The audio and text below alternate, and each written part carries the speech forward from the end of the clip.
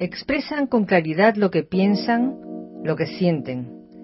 Lo hacen a través de todo tipo de medios, la pintura, la escultura, las performances, el vídeo o la fotografía.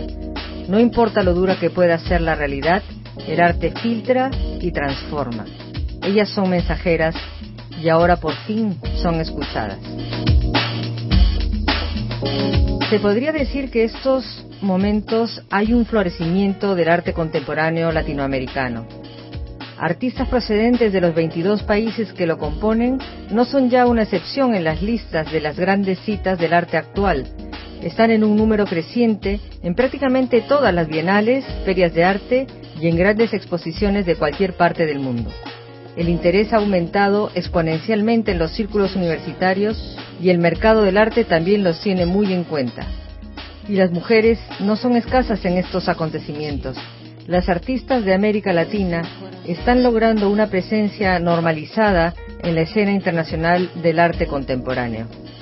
Pero el fenómeno de ese interés creciente en el mundo por el arte de este continente no queda ahí, en lo último. Hay algo incluso mejor. Se está reescribiendo de alguna manera su historia del arte.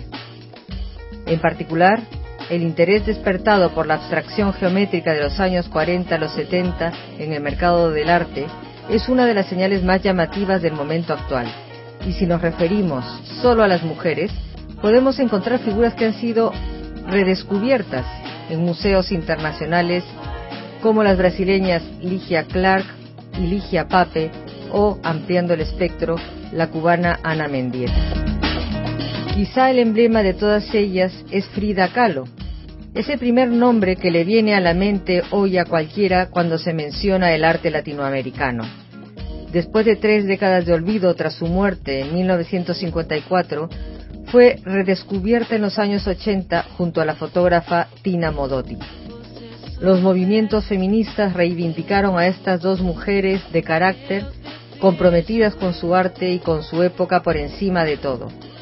La repercusión que tuvo la difusión de la obra de Frida Kahlo, la mitificación de su vida y sus tormentosas relaciones, consiguieron que sus pinturas se difundieran en todo el mundo. Tanto que hoy se ha convertido casi en una marca, en un lugar común.